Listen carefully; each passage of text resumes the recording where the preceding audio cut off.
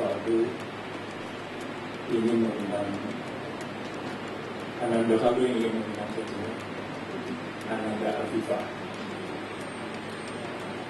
Semoga uh, maksud dan keterangan ini dan maksud perundangan ini dapat dipertimbangkan.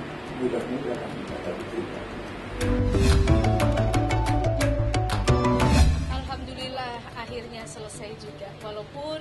Hanya sebentar ya. Tetapi apa yang diimpikan apa yang dicita-citakan oleh mama dan papa khususnya keluarga kami Valdo eh, apa namanya itu kamu sudah sebagai gentleman. Terima kasih banyak Valdo dan Afi dan juga pemirsa semuanya. Alhamdulillah lancar dari yang seharusnya tiga jam setengah menjadi cuma satu jam sebenarnya ini kali ya Pak. Inget nggak? Kita Yes. tuh jadi kita itu mulai bergerak produktif itu semenjak pengumuman apakah PSBB diperpanjang atau enggak. Nah semenjak itu kita setiap hari nyicil nyicil nyicil nyicil nyicil. Jadi alhamdulillah semua uh, so nggak ada yang missing Dan sampai saat ini, alhamdulillah semua dari keluarga Valdo sangat rutin seminggu sekali Tes. apa tes dan itu kekhawatiran mereka. Swab. swab ya. tadinya tadinya tuh 150 undangan sebelum covid cuman setelah covid jadi semua ya by zoom tapi tadi rame Iya. ada 100 orang alhamdulillah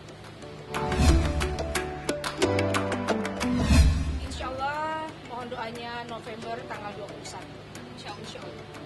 Akad nikah, akad nikah dan langsung jadi eh, langsung resepsi.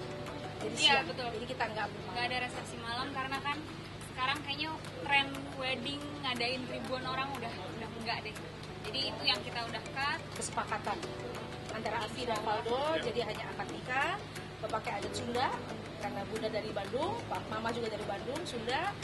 Eh, Siangnya baru makan. siang baru mungkin ganti baju.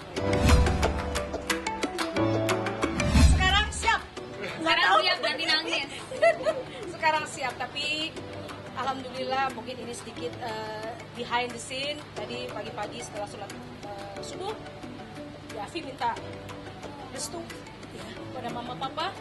Sebelum menginjak pada nanti ya apa yang diungkapkan oleh Afi itu dari hati yang tulus. Mama tidak minta ada sungkeman, ada cium kaki, bukan berarti segala-galanya cium kaki, tetapi itu itulah kebahagiaan sebagai orang tua. dan dia minta maaf kepada papa, terima kasih katanya tadi setelah sholat Jumat. Karena, karena memang sholat, eh, setelah, setelah sholat subuh. Karena memang terbiasa begitu.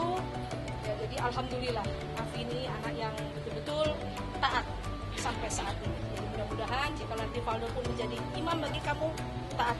Karena imamnya bukan mama. Bukan papa